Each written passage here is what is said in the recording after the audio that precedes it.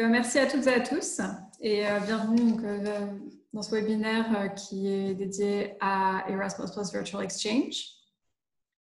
Donc, je m'appelle Aurélie Durand, je travaille pour une organisation qui s'appelle Search for Common Ground, basée à Bruxelles. Et je suis en compagnie de M. Marcello Scalici, qui est directeur de Unimed, basé en Italie, de Lorenza Bacino, qui travaille pour Uni Collaboration, euh, basée en Angleterre, et Amani Ben Lakhdar, euh, qui travaille pour Solia et qui est basée en Tunisie. nous allons tour à tour vous présenter euh, les caractéristiques principales donc, de d'Erasmus Virtual Exchange, ainsi que les opportunités qui vont s'offrir à vous dans les mois qui arrivent. Donc, je vais d'abord passer la parole à Marcello, qui va vous dire quelques mots. Merci Henri. Euh, euh, euh, évidemment, c'est un plaisir d'être ici avec des collègues francophones pour parler un peu de Erasmus Virtual Exchange. D'abord, Unimed, comme vous savez, c'est un réseau d'universités de la région euro-méditerranéenne. Nous avons 130 universités de, de, 23 pays de la région et nous, nous sommes partenaires de cette euh, initiative pilote de la Commission européenne, parce que l'Erasmus Plus Virtual Exchange, il est une, initiative de la Commission européenne. Avec ce projet pilote, sont en train de euh, vérifier si toute cette modalité d'échange peut être une modalité aussi pour les prochaines années. Donc, était d'abord un, projet un peu visionnaire en rapport à la situation du Covid-19, parce que ce projet-là a commencé trois ans, trois ans avant et évidemment d'une situation totalement différente à la situation actuelle. Euh, donc, nous avons découvert un grand intérêt. La, la région euro-méditerranéenne méditerranéenne a été sélectionnée par la Commission comme un projet pilote. Euh, ils sont en train de vérifier un peu élargir toute cette initiative aussi à d'autres régions du monde. Euh, était aussi une expérience incroyable qui va continuer pour toute cette année et j'espère qu'il continuera aussi l'année prochaine. Euh, parce qu'il a donné nous la possibilité de travailler avec euh, euh milliers d'étudiants de, de rive de la Méditerranée pour, pour faire des mobilités virtuelles, mais pour avoir des échanges virtuels avec une méthodologie qui sera bien expliquée aujourd'hui pendant le webinaire j'espère aussi que votre université va être euh, impliquée dans les prochaines activités, dans les prochains mois. Et pourquoi pas d'imaginer de renforcer cette dimension de la euh, virtual exchange, de l'échange virtuel aussi euh, dans le futur de votre activité. maintenant, tout ça, il, a une valeur encore, encore plus, plus, grande, plus riche en rapport à la, la COVID-19 à rapport, par exemple, à toutes les difficultés sur la mobilité, à rapport pour les prochains mois, au moins, ou pour les prochains semestres.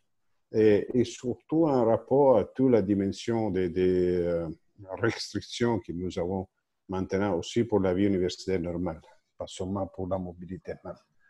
Euh, donc, euh, nous devons imaginer à travers ces projets-là, grâce à ces projets-là, que notre activité internationale peut pas être fermé parce que nous sommes dans dimension très particulière et très grave comme euh, la situation actuelle. Nous devons continuer à travailler, plus ou moins normalement, avec euh, l'utilisation de tous les moyens pour continuer notre relation, pour essayer de construire tout ensemble une génération méditerranéenne de jeunes capables de se comprendre. Euh, donc, euh, j'ai trouvé que toute l'expérience que nous avons fait avec Virtual Exchange était une expérience extraordinaire. C'est pas seulement pour la dimension universitaire, aussi pour les, jeunes en, général. Et j'espère aussi que toute la dimension francophone sera encore plus impliquée. Nous avons plusieurs participations de la Tunisie euh, et aussi du Maroc, de l'Algérie, aussi française évidemment, mais j'espère aussi qu'il va être encore plus riche parce qu'une autre chose importante, c'est la, diversité euh, de la langue, de l'utilisation de la langue, c'est important dans cette dimension de, de virtuel. Donc, je m'arrête ici et je serai là avec vous pour tous les webinaires. S'il y a des questions, sans problème. Merci. Merci beaucoup, Marcello. Euh, donc, comme vous pouvez le voir, euh, nous allons donc euh, vous présenter le projet dans son ensemble tout d'abord, et puis ensuite, nous allons passer aux activités spécifiques qui vont être ouvertes à la participation dans les mois prochains. Donc, je voudrais commencer par vous donner un bref aperçu du projet Erasmus Virtual Exchange. Donc, c'est un projet innovant qui a été lancé en 2018 par la Commission européenne pour une durée de trois ans. Euh, dans le but d'étendre à la fois la portée et l'impact euh, d'Erasmus+. Donc, en complémentant, euh, complétant les échanges physiques offerts par le programme Erasmus+, par le biais de l'outil virtuel, donc à travers des échanges virtuels. Ce projet sert un double objectif, à la fois promouvoir la compréhension mutuelle entre des jeunes d'horizons différents et le développement de compétences et d'attitudes. Donc, euh, ça peut être des attitudes telles que l'empathie, par exemple, et puis des compétences telles que la capacité à analyser l'information de façon critique, euh, la capacité à utiliser des outils numériques. Ça peut également être des, compétences euh, linguistiques. Comme vous pouvez le voir, notre objectif est d'atteindre au moins 25 000 participants au cours des trois ans du pilote, donc euh, d'ici décembre 2020. Je vous donnerai quelques chiffres euh, à ce propos un petit peu plus tard dans la présentation. Et ce projet est mis en œuvre par un consortium de huit organisations.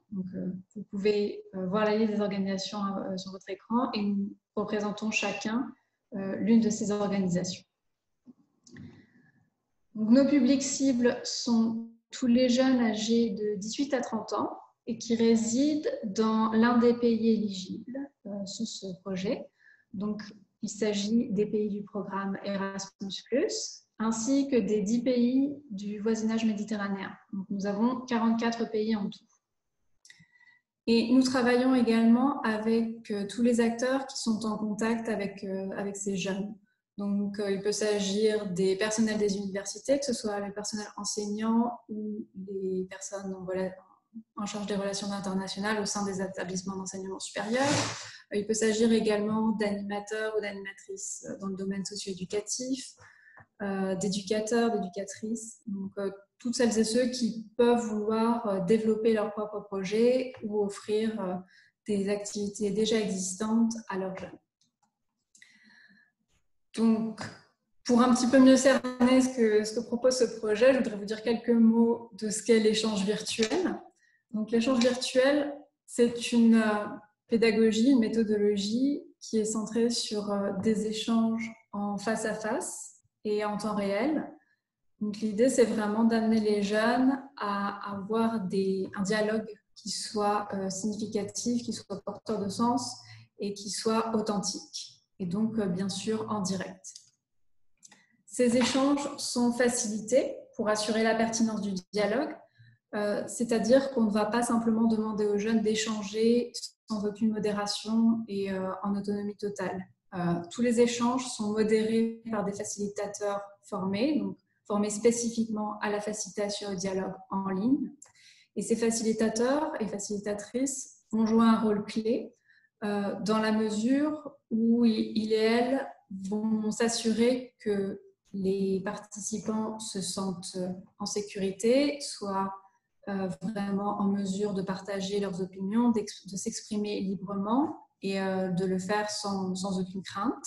Et aussi, ces facilitateurs et facilitatrices vont s'assurer que tous les objectifs pédagogiques soient atteints. Donc, euh, ces objectifs peuvent varier d'une activité à l'autre, mais ça va vraiment être euh, le rôle des facilitateurs et des facilitatrices de s'assurer que, euh, les objectifs soient réalisés au terme de l'activité. Ces échanges virtuels sont conçus dans une logique pédagogique qui s'inscrit sur le long terme. Donc, on ne parle pas d'échanges ponctuels comme on peut les avoir sur les réseaux sociaux, mais on parle vraiment de dialogues qui vont se dérouler sur plusieurs semaines. Donc, encore une fois, les durées des activités peuvent varier, mais l'idée, c'est vraiment de, s'inscrire sur, euh, sur, sur, le long terme et non pas d'avoir des échanges ponctuels. Et enfin, c'est bien sûr un projet qui s'appuie sur la technologie, donc qui met à profit réellement tous les outils qui sont à disposition pour, pour en tirer le meilleur parti. Donc, afin de reconnaître la participation des jeunes à ces activités et afin de valider leurs acquis, euh, nous avons développé un système de reconnaissance euh, sous la forme de badge numérique. Donc, ce système s'appuie sur un cadre de compétences euh, qui a également été développé par le consortium. Et il nous importe vraiment de mettre l'accent sur la reconnaissance institutionnelle. C'est notamment pour ça que, comme vous pouvez le voir, ces badges euh, porte le drapeau de l'Union européenne et il nous est également, il nous tient vraiment à cœur de les valoriser auprès des organisations de jeunesse et euh, des établissements d'enseignement supérieur de toutes les institutions qui peuvent vouloir euh, faire bénéficier les jeunes de ces activités. Donc, je voudrais, sans vouloir vous, donner trop de chiffres, je voudrais quand même mettre en lumière quelques résultats. donc, comme vous pouvez le voir, nous nous avons déjà atteint euh, notre objectif en termes de participation et nous l'avons même dépassé puisque plus de 27 000 personnes, que ce soit des jeunes ou des professeurs, des éducateurs, etc., euh, ont participé aux formations et aux échanges, dont effectivement 23 000 jeunes qui ont participé aux activités d'échange seulement. Le reste étant des éducateurs, des facilitateurs, euh, des professeurs qui ont suivi des formations proposées par le projet. Euh, nous avons plus de 250 partenariats avec à la fois des établissements d'enseignement supérieur et des organisations de jeunesse qui ont proposé des activités euh, à leurs étudiants ou à leurs jeunes. Et nous avons une assez grosse communauté de facilitateurs puisque nous avons plus de 350 facilitateurs et facilitatrices euh, qui sont impliqués à divers degrés dans ces activités. Et enfin, comme je l'ai mentionné plus tôt, 44 euh, pays sont impliqués dans ce projet. Euh, comme vous pouvez le voir, nous avons une majorité de jeunes femmes qui participent au projet, donc ce qui reflète assez bien euh, la, population, ou du moins la répartition dans, l'enseignement supérieur et, aussi la répartition hommes-femmes parmi les participants et participantes au programme Erasmus. Et nous avons une, euh, majorité de participants et participantes euh, du sud de la Méditerranée également.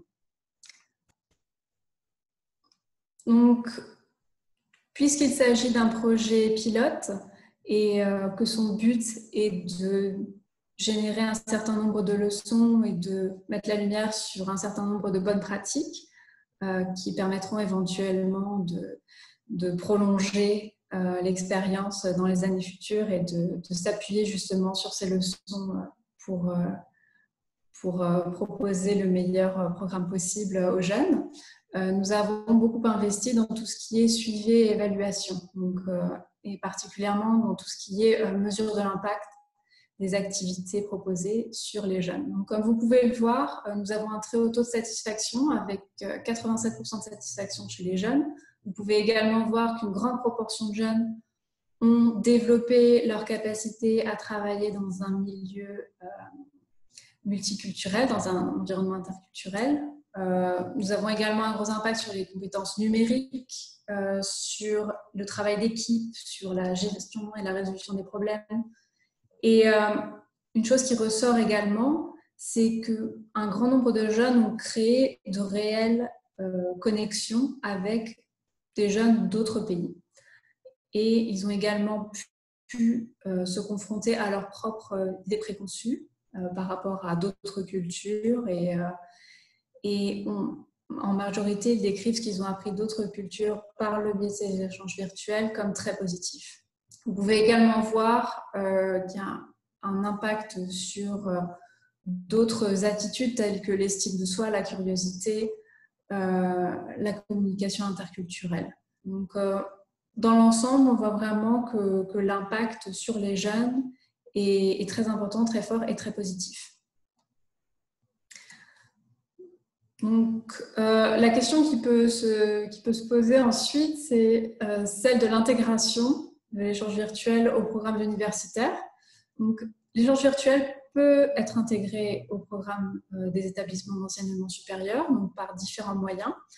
Euh, nous proposons à la fois des échanges prêts à l'emploi qui peuvent être ajoutés comme une composante d'un cours ou euh, qui peuvent être proposés comme activité extra, extrascolaire.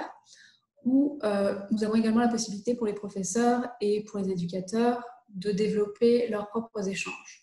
Donc, ce sont deux modèles qui vont répondre à des besoins différents, comme nous allons euh, vous montrer euh, un petit peu plus tard dans cette présentation. Et ces activités peuvent être également promues au sein de l'établissement de façon transversale. Donc il y a vraiment euh, une assez grande flexibilité en termes d'intégration au programme des, des établissements d'enseignement supérieur. Donc, comme je vous l'ai dit, ce projet offre deux types, deux grands types d'activités, donc à la fois des activités, des échanges virtuels prêts à l'emploi. Vous pouvez voir la liste ici. Nous avons les cercles sociaux, le programme Connect, Cultural Encounters et les échanges débats dont Amani va vous parler. Et nous avons également des formations. Donc les formations s'adressent plutôt aux personnes qui vont encadrer les jeunes qui vont s'engager dans les échanges virtuels, alors que les échanges virtuels prêts à l'emploi s'adressent plutôt aux jeunes vont bénéficier directement aux jeunes. Donc, je vais maintenant passer la parole à Amani pour la présentation des échanges virtuels d'emploi. Amani. Merci Aurélie. Euh, bonjour tout le monde. Euh, je me présente. Alors, euh, je suis la coordinatrice de partenariat et de sensibilisation. Je travaille avec l'un des membres de, du consortium, Solia. Et euh, je vais vous euh, parler aujourd'hui des, échanges virtuels qui sont prêts à l'emploi. Il y en a plusieurs et on va commencer avec euh, Social Circles. donc, Social Circles, c'est les cercles sociaux. donc, ce sont une excellente activité pour débuter et introduire les programmes Erasmus Plus Virtual Exchange, puisque la durée du programme est la plus courte parmi ce qu'on offre. Euh, c'est un engagement de 12 jours et au cours de ces 12 jours, euh, il y aura seulement deux réunions de groupe en ligne avec des activités et des exercices euh, qui sont dirigés par des facilitateurs qui sont bien formés pour accompagner les participants pendant leur programme d'échange virtuel.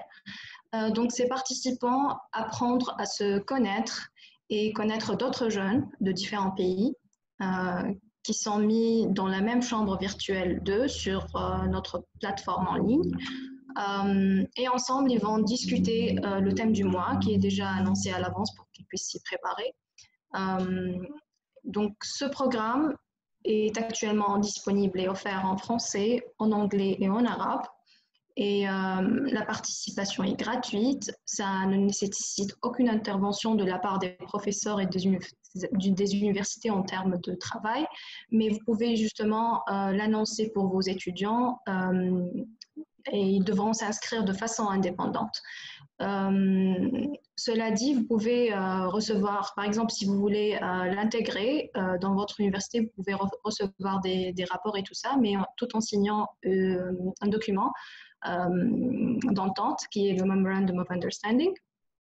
Euh, et, donc, il est possible euh, pour les, jeunes de, s'inscrire à autant de, cercles sociaux qu'on le souhaite, mais il est aussi possible d'essayer une seule fois pour découvrir ce qu'on appelle Virtual Exchange. Donc, c'est un début euh, pour commencer à découvrir ce genre d'opportunités. le prochain sujet est déjà annoncé sur le Hub et je vais vous donner tous les liens juste après mon intervention. Donc le sujet sera comment trouver un équilibre entre culture locale et mondialisation. Euh, la date limite de l'inscription euh, sera bientôt, c'est le 19 juillet, et toutes les euh, candidatures doivent être envoyées avant cette date. Maintenant, on passe à la deuxième activité, qui est le programme Connect.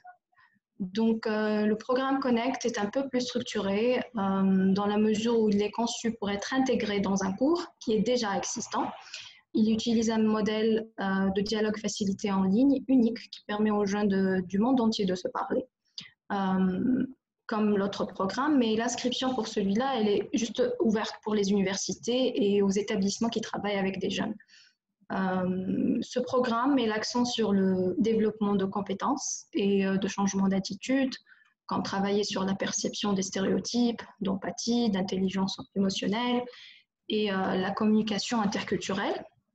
Et les participants sont aussi accompagnés par des facilitateurs. ils, ils, vont être mis dans des groupes de 8 à 12 personnes venant de plusieurs pays. Et pendant les séances, euh, ils vont faire des activités, ils vont mener un dialogue sur des sujets mondiaux et des problèmes d'actualité. Euh, le, choix de sujet, de la, durée sera déjà établi par le professeur qui va coordonner cette activité. Et ce dernier pourra choisir euh, entre les différentes formules et les modèles qu'on propose en, programme Connect euh, donc, on a le Connect Express d'une durée de 4 semaines, Connect Collaborate euh, d'une durée de 5 semaines et Connect Global d'une durée de 8 semaines. Et tous ces modules sont offerts en anglais uniquement et vous pouvez consulter les différences entre toutes ces, ces, variations sur le lien que je vais euh, mettre juste après. Euh, et euh, voilà, donc vous pouvez euh, appliquer, plutôt s'inscrire et envoyer votre candidature. Et si vous êtes éligible, on, vous connecte, on, vous, on va vous contacter pour, pour parler encore de, de, comment on peut faire cet partenariat avec vous. donc la date limite de, des inscriptions, c'est le 30 juillet déjà. Voilà. Maintenant, on passe à la troisième activité qui est euh, les Cultural Encounters, euh, les rencontres euh, culturelles. Donc, c'est un cours interactif d'une durée fixe de neuf semaines. et c'est un programme interactif ouvert en ligne qui, repose beaucoup sur des approches thématiques donc, euh, la prochaine thématique euh, pour l'automne sera autour des débats actuels sur les changements climatiques. les participants vont explorer les impacts de ces changements sur la planète, les actions politiques et les mouvements sociaux autour de, de, ces changements climatiques. Et ils auront un, accès à une série de conférences et d'outils audiovisuels présentés et encadrés par des facilitateurs certifiés et des experts académiques. Ils vont aussi se rencontrer en ligne et mener un dialogue interactif et euh, interculturel pour parler du thème en question d'une manière euh, ouverte. Donc, cette opportunité combine parfaitement l'échange culturel et l'apprentissage en ligne. Et euh, à la fin de la session, tous les participants recevront un Erasmus Digital Badge soulignant les compétences qu'ils ont eues. Donc, pour participer, toute personne éligible peut s'inscrire euh, individuellement en ligne sur le Hub, euh, mais euh, c'est aussi possible pour les universités et les établissements qui travaillent avec les jeunes de s'inscrire et d'intégrer ce programme dans leurs cours. ceci a en effet eu un taux de, de réussite considérable pendant les dernières années et on l'encourage fortement. Donc, vous pouvez envoyer votre candidature. le programme, est disponible en, anglais uniquement et la date limite de l'inscription est entre le 12 octobre et le 11 décembre. Je ne suis pas sûre, mais de, toute, manière, je vais vous envoyer le lien dans le chat box pour que vous puissiez le consulter. Donc, on passe à l'opportunité suivante. Euh, qui est l'échange débat, exchange debates. Donc, ces, débats en ligne réunissent des équipes interculturelles afin que celles-ci travaillent main dans la main sur des sujets de discussion pertinents dans l'ensemble de la région. Euh, ce programme a été mis en place dans la foulée de la réussite du programme Young Mediterranean Voices et euh, les participants développent des capacités de réflexion critique et abordent des thèmes qui peuvent avoir un impact sur le plaidoyer tout en ayant une formation sur les compétences liées au débat, comme la construction d'arguments, l'écoute active, la, réfutation. Donc tout ça, il est trop différent de ce que je viens de, vous euh, présenter sur les trois euh, euh, programmes précédents, puisque ici on parle du débat et pas de, du dialogue. Donc c'est différent. donc il y a plusieurs étapes pendant le, les sessions. Donc il y a la première étape qui est l'étape de la formation des chefs d'équipe. La deuxième étape qui est euh, le débat interculturel en ligne entre des équipes du Nord et du Sud de la Méditerranée autour du sujet qu'ils ont choisi. choisi. Et donc la session est organisée par un formateur en débat, tandis que les échanges sont modérés par les chefs d'équipe qui ont été déjà choisis. Et pour participer à un, débat en ligne, un team leader en moins doit avoir reçu la formation correspondante pour, euh, mener ce débat. Euh, et suite à ces débats, euh, tous les team leaders et leurs équipes sont invités à se rencontrer de nouveau lors d'une séance de dialogue post-débat afin de réfléchir au thème dont ils ont débattu. donc, la durée de ce programme est de deux semaines il est disponible en français, en anglais et en arabe. Et euh, pour les dates, donc la formation des chefs d'équipe sera entre. Euh, il y a plusieurs dates, donc il y a le 19 septembre, le 10 octobre et le 31 octobre. Et euh, donc voilà, les, sessions de débat se passent juste après chaque date. Donc septembre, octobre et novembre. Euh, donc, euh, juste pour conclure, euh, je, vais juste parler un peu plus sur les avantages de la participant à un, échange de débat qui est existant, qui est préparé, qui est prêt à l'emploi, si, si, on peut dire. donc, on passe à la... Voilà, merci Aurélie. Donc, pour les participants, il y a en fait plusieurs avantage. Pour les participants, ils auront une réelle diversité. C'est une expérience interculturelle qui va euh, leur offrir euh, plusieurs compétences. le processus est guidé par les apprenants eux-mêmes, mais aussi il est encadré par des experts. C'est adapté aux besoins de chaque groupe. Le les universités et les institutions peuvent choisir quel est le type d'opportunité qui est le plus adapté à leur euh, étudiants ou à leurs cours. Et euh, pour les institutions participantes, euh, les programmes qu'on propose, ils peuvent mettre en œuvre, si on peut dire, ça, ça, reflète une prise en charge y compris euh, le support technique. On, se charge de tout. On a nos équipes qui, vont s'en charger de, tous les problèmes techniques que les, euh, les participants euh, pourront avoir. Donc, ce n'est pas un souci pour les, pour les universités ou les organismes avec qui on travaille. les, les attentes d'apprentissage spécifiques généralement, elles sont atteintes et on vous envoie plusieurs rapports pour détailler ce, genre de résultats et l'impact que le, programme a, eu, euh, a eu sur euh, euh, vos étudiants ou aux participants que vous venez d'intégrer. Et les méthodes d'évaluation, elles sont rigoureuses. On a des surveys, on a des on a une équipe qui est là pour travailler sur comment évaluer les participants sur euh, ce genre d'opportunité qui, qui, vient de naître. Ce n'est pas quelque chose qui ressemble à, à l'éducation formelle. Donc, euh, les méthodes d'évaluation, ils, euh, ils suivent cette démarche aussi. Donc voilà, je pense que j'ai tout dit. Je vais laisser la parole à Lorenza, je pense, et je vais vous lister dans le chat box tous les, tous les liens où vous pouvez trouver euh, toutes les informations nécessaires. Si vous avez des questions, vous pouvez les poser ici et on va les reprendre après. Merci. Merci beaucoup, Aman. Euh, donc, euh, je vais vous dire quelques mots des opportunités de formation et si vous avez des questions, n'hésitez pas à les poser dans le chat et Lorenza pourra, pourra y répondre. en particulier, si vous avez des questions sur la deuxième opportunité de formation, qui sont les, les TAP. Donc, tout d'abord, je voudrais vous parler un petit peu plus de la formation à la facilitation. Donc, comme je l'ai mentionné précédemment, les facilitateurs et les facilitatrices jouent vraiment un rôle clé dans le processus d'apprentissage.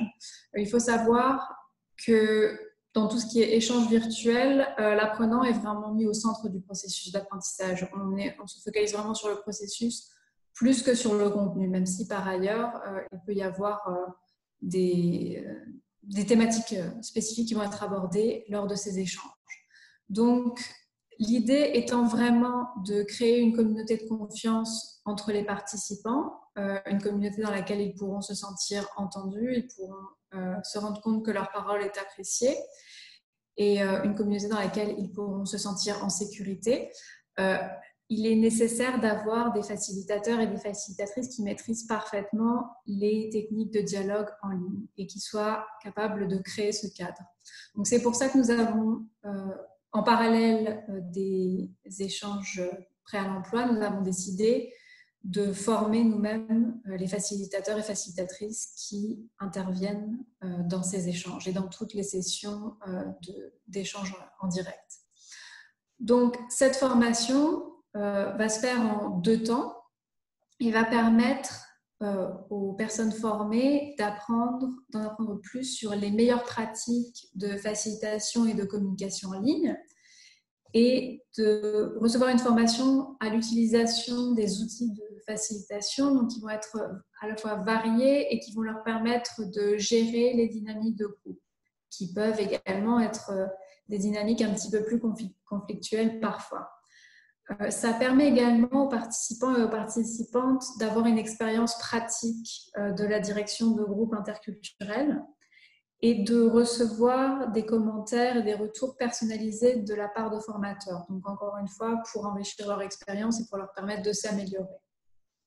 Comme je l'ai mentionné, cette formation se fait en deux temps. Vous avez premièrement une introduction à la facilitation du dialogue, donc qui s'adresse aux personnes qui n'ont par ailleurs aucune expérience de, facilitation. Euh, c'est vraiment pour les, grands débutants et les grandes débutantes et qui va permettre euh, justement de se familiariser avec les concepts à la fois de facilitation et les concepts de facilitation en ligne. Ensuite, euh, après avoir réussi cette formation, vous pouvez décider de passer à la formation avancée. Euh, qui là va être euh, un peu plus intensive, qui va comprendre aussi des sessions en direct avec un groupe et qui va euh, aborder le côté un peu plus pratique.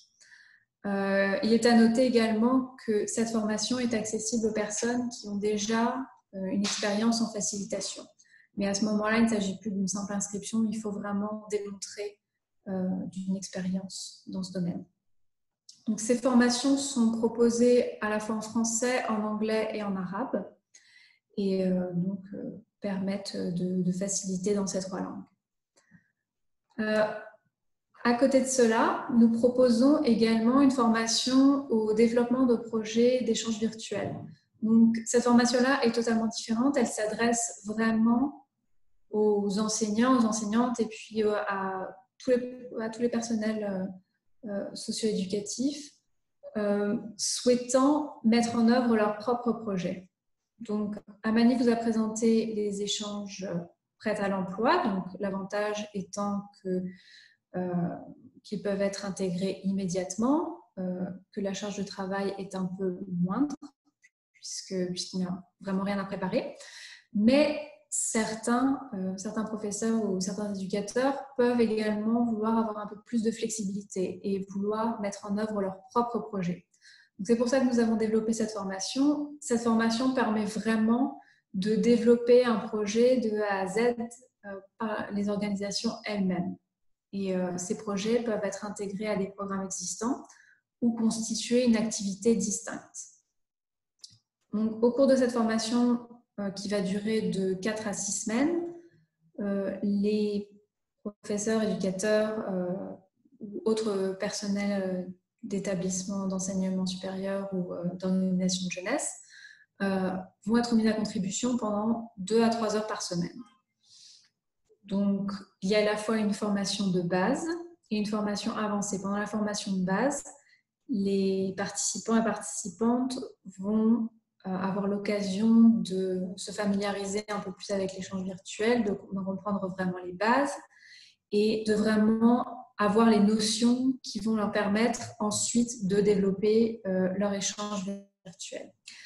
Ce développement, cette conception d'un échange virtuel va se faire dans un deuxième temps lors de la formation avancée. Il faut bien noter que la formation avancée n'est pas seulement une formation théorique, mais que ça va vraiment être un accompagnement euh, dans le développement de cet échange virtuel. Donc, au terme de la formation avancée, en réalité, euh, vous pouvez être prêt à mettre en œuvre votre échange avec euh, vos étudiants ou, les jeunes de votre organisation. Cette formation est proposée en français et en anglais pour les établissements d'enseignement supérieur. Si je me souviens bien, j'ai également vu que certains ou certaines d'entre vous ne sont pas nécessairement issus de l'enseignement supérieur, mais font partie d'organisations de jeunesse. Dans ce cas-là, il s'agit d'une formation distincte. Euh, je vous renvoie au site euh, pour avoir plus d'informations. Et cette formation-là est proposée en anglais et en arabe. Mais euh, donc vraiment, si vous faites partie d'un établissement d'enseignement supérieur, ce, cette diapositive vous présente les caractéristiques principales de la formation qui vous est destinée. Donc, développer votre propre projet euh, présente un certain nombre d'avantages, euh, puisque, encore une fois, ça vous permet vraiment de comprendre la logique de l'échange virtuel et aussi par le biais de sessions euh, en direct avec votre groupe, d'en faire l'expérience. Donc, de vraiment faire l'expérience de ce que vivent les étudiants et non pas seulement d'en avoir une compréhension théorique. Euh, c'est une approche pédagogique qui est innovante. Donc, euh, si vous êtes sensible à cet aspect et si votre institution est sensible à tout ce qui est euh, internationalisation chez soi, internationalization at home, je, suis désolée, je n'ai pas le terme technique en français, ça peut être également une bonne option pour vous. Ça vous permet également de vous familiariser avec les outils d'apprentissage en ligne. Et également, puisque ce type d'échange offre une plus grande flexibilité en termes de thème, par exemple, de répondre à des objectifs d'apprentissage spécifiques. Comme je l'ai mentionné, on vous soutient vraiment tout au cours du développement euh, du thème. Et vous pouvez également avoir accès à des facilitateurs et des facilitatrices formés si vous souhaitez euh, intégrer des, des, sessions de dialogue euh, en ligne euh, facilité avec, euh, avec vos étudiants et vos étudiants. vous pouvez vraiment bénéficier de cette communauté de plus de 350 facilitateurs et facilitatrices euh, déjà formés. Donc, j'ai déjà un petit peu abordé les, les, différentes caractéristiques des TEP, mais je voudrais quand même revenir un petit peu dessus. Donc, ils peuvent être soit articulés autour d'un sujet spécifique, soit interdisciplinaire. On a déjà certains exemples de TEP qui ont été mis en œuvre par des professeurs euh, enseignant des, sujets complètement différents, mais qui ont pu trouver un thème, un thème commun autour duquel euh, organiser un TEP. Ils peuvent être bilatéraux ou multilatéraux. Il faut savoir qu'un TEP est toujours organisé par au moins deux établissements d'enseignement supérieur deux organisations de jeunesse ou alors un établissement d'enseignement supérieur et une organisation de jeunesse. ça, c'est le minimum, mais ensuite, euh, vous pouvez mettre ça en œuvre avec autant de partenaires que vous le souhaitez. Il n'y a pas vraiment de, de limite. Euh, ça peut également s'adresser à des étudiants ou des étudiantes d'un même niveau ou de différents niveaux en fonction du format que vous choisissez. La durée peut également varier et euh, ces TAP peuvent également répondre aux besoins spécifiques de votre cours ou de votre institution. Donc, il y a vraiment une grande flexibilité et, euh, un, grand, euh, un grand sens d'appropriation du, du, cours et du format par les personnes qui les mettent en œuvre. Donc, nous avons quelques bons exemples euh, maintenant de, TEP dans l'enseignement supérieur, donc notamment de TEP qui ont été euh, intégrés dans des projets Erasmus, euh, ou dans d'autres formes de mobilité. ces TEP ont pu également être utilisés comme activité de pré-mobilité ou de post-mobilité, donc soit pour préparer les étudiants et étudiantes à partir dans leur pays d'accueil, soit pour prolonger leur expérience à leur retour. Donc euh, là, encore une fois, il y, a une, assez grande flexibilité du format euh, qui lui permet d'être utilisé euh, à différents, à Ces échanges virtuels peuvent être intégrés dans des projets déjà existants ou dans des projets futurs, ou ça peut également servir de séminaire ou d'université d'été ou d'hiver. Encore une fois, ça dépend vraiment des besoins de l'institution. ça permet également une certaine innovation de l'offre éducative. Donc, euh, vraiment, de ça permet une, collaboration avec des établissements basés à l'étranger. Ça permet un développement de cursus conjoint assez flexible, comme je l'ai déjà dit, et de programmes d'apprentissage par défi. Donc il y a divers aspects qui peuvent être mis à profit par les enseignants et enseignantes souhaitant mettre en œuvre un tel projet avec leur classe. Enfin, le fait de proposer cette formation et euh, de, proposer cette option euh, aux personnels enseignants et euh, au personnel des universités en général s'inscrit également dans une stratégie de formation des personnels. et enfin, ces, ces étapes pourraient également être utilisées afin de développer des stages en ligne pour les étudiants et étudiantes.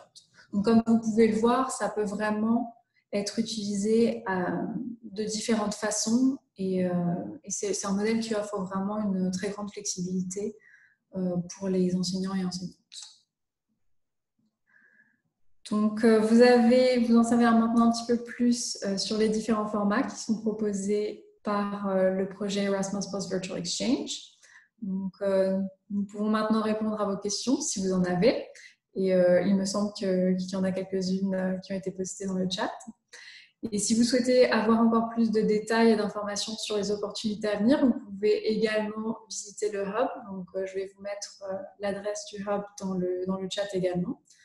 à partir du hub, vous pourrez vous inscrire à, notre lettre d'information pour recevoir toutes les opportunités à venir et pour également recevoir plus d'informations sur l'impact du projet ou les dernières nouvelles en général.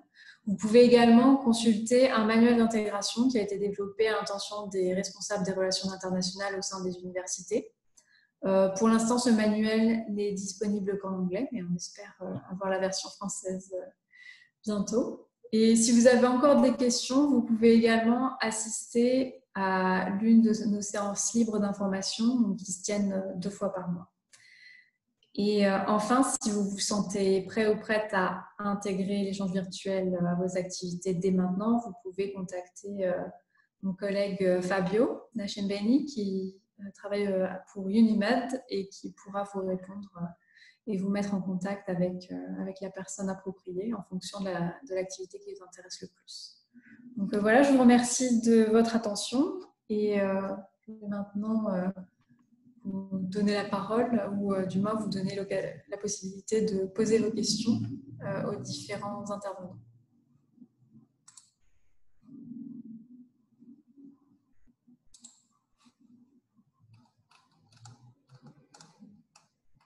Euh, Lorenza, est-ce qu'il y a des questions qui, sont ressorties plus particulièrement?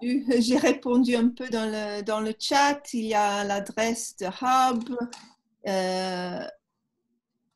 on a répondu, mais si vous avez des questions, on peut vous donner la parole aussi.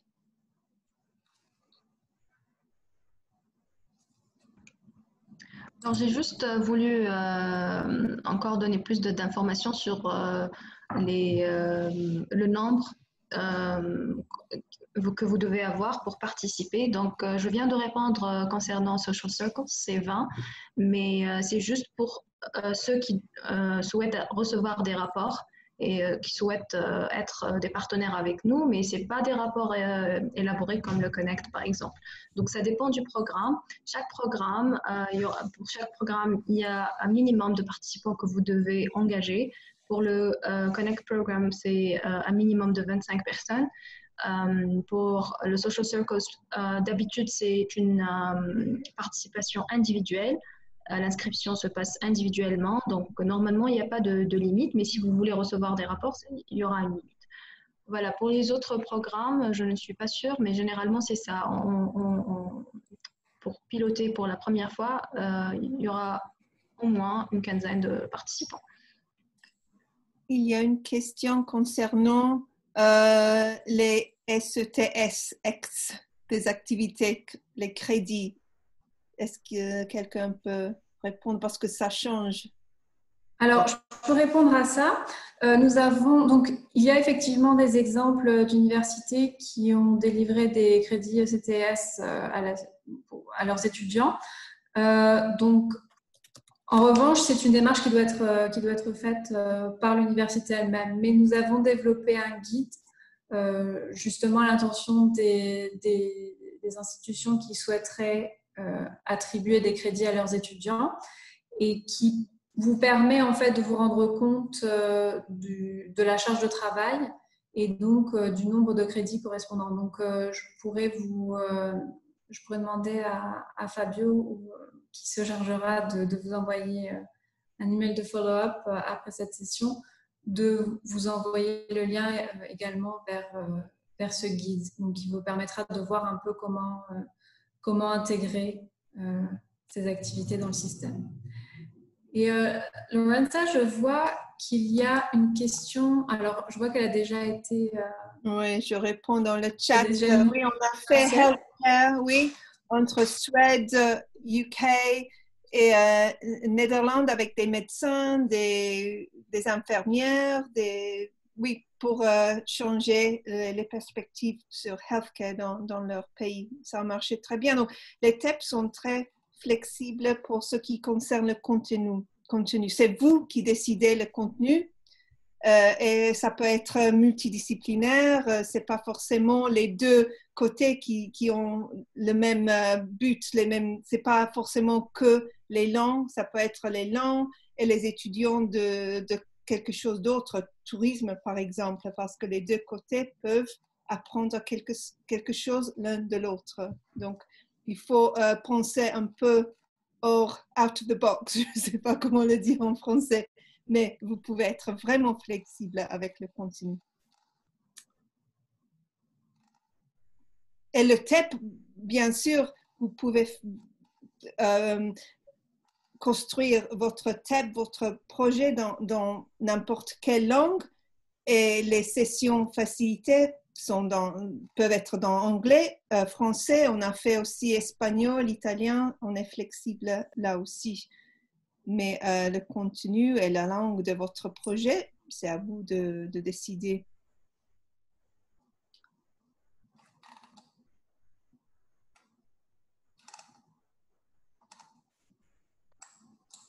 Pendant la formation, vous allez réfléchir sur euh, la pédagogie, la logistique, le, soutien, les supports technologiques, euh, les buts pédagogique aussi, votre inquiétudes, les soucis, les outils à votre disposition aussi. On, discute tout ça et aussi pendant la formation de base, vous allez peut-être euh, commencer à réfléchir à votre projet, peut-être trouver un partenaire, une, euh, autre personne avec qui vous voulez travailler.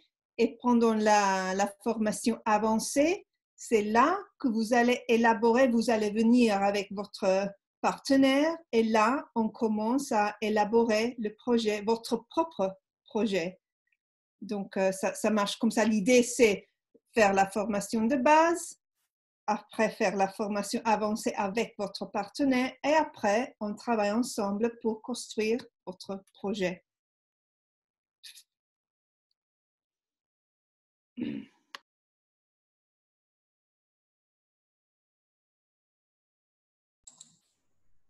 N'hésitez pas si vous avez d'autres questions à les poster dans le chat euh, afin que nous puissions y répondre.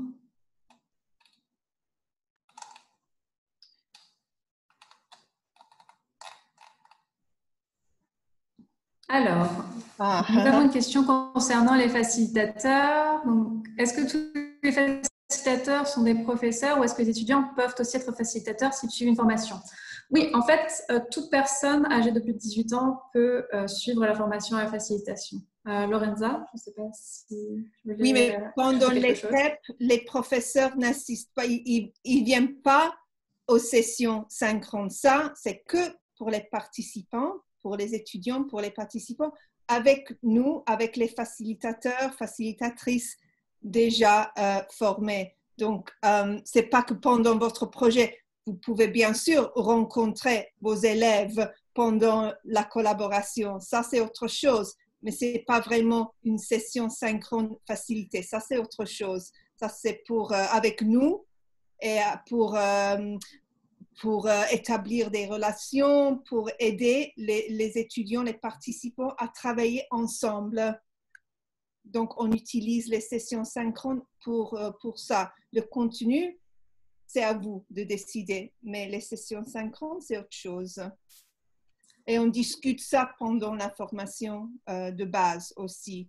Et pendant la formation avancée, vous avez aussi l'occasion d'assister à une session facilitée pour voir ce que vos participants voudront pendant les sessions, pendant la, collaboration, le, projet.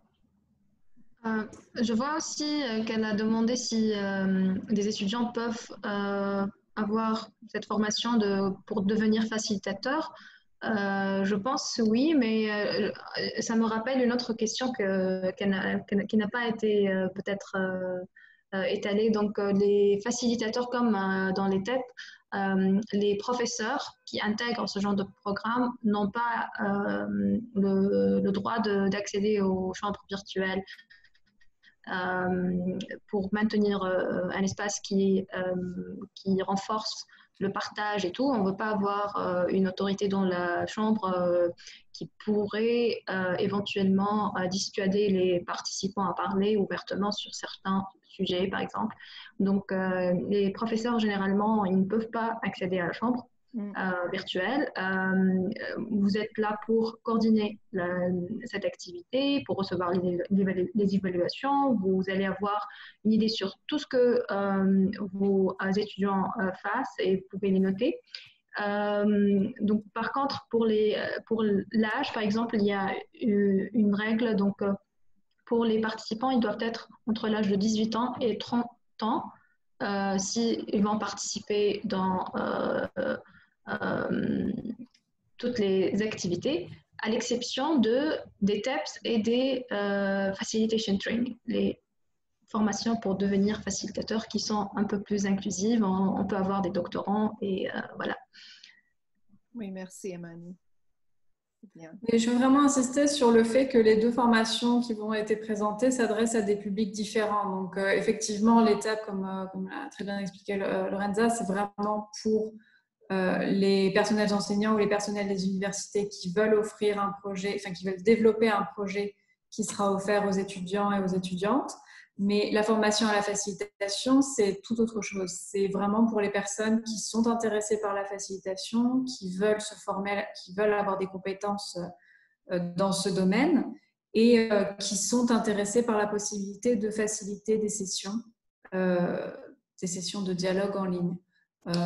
donc, bien entendu, c'est ouvert aux professeurs. Vous pouvez être professeur et devenir facilitateur, mais dans ce cas-là, vous ne faciliterez pas de dialogue entre vos étudiants et d'autres jeunes. Vous faciliterez d'autres groupes. Donc, euh, vos, rôles seront complètement distincts parce que, comme l'a, comme l'a expliqué Amani, euh, les facilitateurs et les facilitatrices sont vraiment des figures euh, qui, doivent rester neutres et, et, multipartiales. Donc, donc l'idée, c'est vraiment qu'il n'y ait pas du tout de rapport d'autorité entre, entre les facilitateurs et les participants et participantes au dialogue.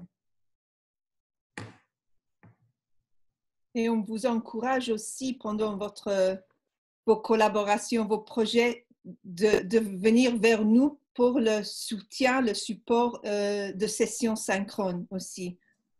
Ça, ça, ça, fait partie, ça fait partie du, de, tout, de tout le projet en fait.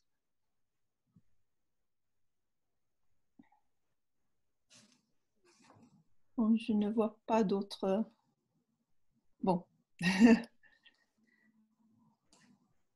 Alors, pour les Cultural Encounters, les heures prévues sont-elles planifiées de façon synchrone sur quelle page horaire? Il y a une question sur ça.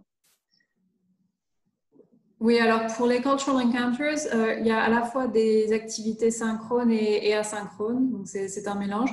Mais euh, effectivement, sur, les Cultural Encounters euh, font partie de nos échanges les plus longs.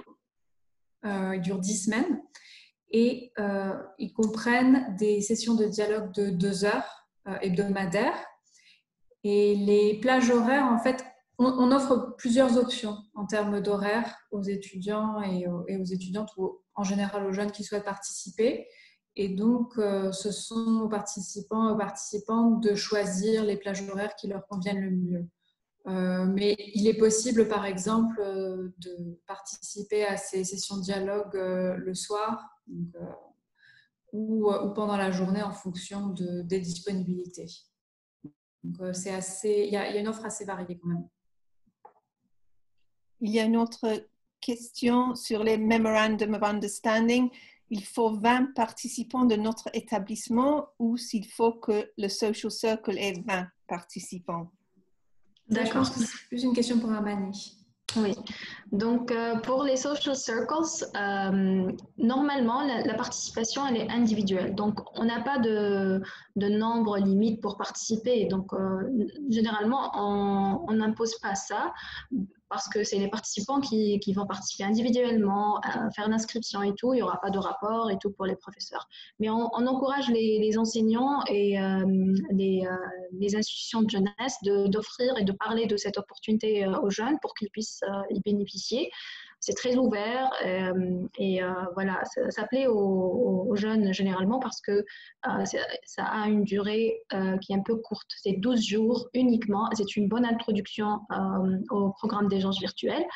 Par contre, si vous voulez recevoir des rapports sur la conduite de, vos étudiants, comme par exemple s'ils étaient absents ou présents, c'est le seul format de, de euh, communication et de coordination qu'on peut vous offrir sous ce genre, ce type euh, d'opportunité qui est le social circle, c'est très limité. On peut juste vous dire si euh, votre, vos, vos étudiants ont participé ou pas, vous devez signer dans ce cas un MOU. Et si on signe un MOU, c'est qu'on on va s'engager à, travailler avec vous et on va essayer de, d'être partenaire. Et dans ce cas, vous devez avoir euh, un minimum de 20 participants. Mais sans MOU, il n'y a, pas une, euh, ce genre de contrainte d'un minimum de participants. Merci. Je vois qu'elle a dit que c'est très clair.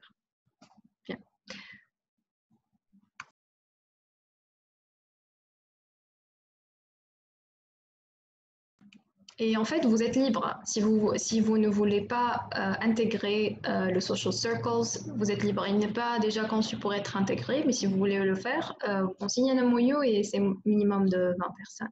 Donc, c'est pas pour les programmes qu'on peut intégrer, ils sont déjà listés. c'est Cultural Encounters et Connect. Et pour les programmes qui sont un peu plus libres, c'est les autres. Voilà.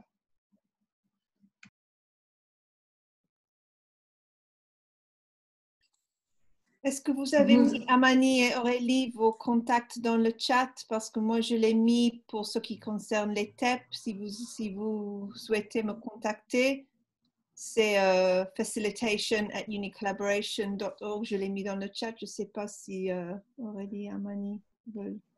Euh, alors, la présentation comporte l'adresse de, de, Unimed. donc, moi, ce que je suggérerais, c'est que Unimed centralise, centralise les questions. Et puis ensuite, euh, je pense que Fabio pourra se charger de mettre, en, les personnes intéressées en contact avec euh, les partenaires euh, en charge de, des activités. Ah, je vois qu'il y a une question, il y a une dernière question sur les social circles. Quelle est la fréquence des social circles? Armani? Donc, euh, c'est presque tous les mois et chaque mois, il y a un sujet différent qui est déjà annoncé à l'avance. Vous pouvez euh, euh, voir le, lien que je viens de poster juste après mon intervention. Donc, le sujet, il est déjà annoncé, les dates et la période d'inscription. c'est à peu près chaque mois, parfois c'est une fois tous les deux mois, s'il y a des vacances ou des trucs comme ça. C'est 12 jours. Euh, l'engagement, mais euh, les, euh, les présences, si on va dire les, les séances synchronisées en ligne, c'est uniquement deux sessions de deux heures chacune qui se passent les vendredis. Donc c'est très fixe et vous pouvez voir ça sur, le, sur le lien que je viens de vous envoyer.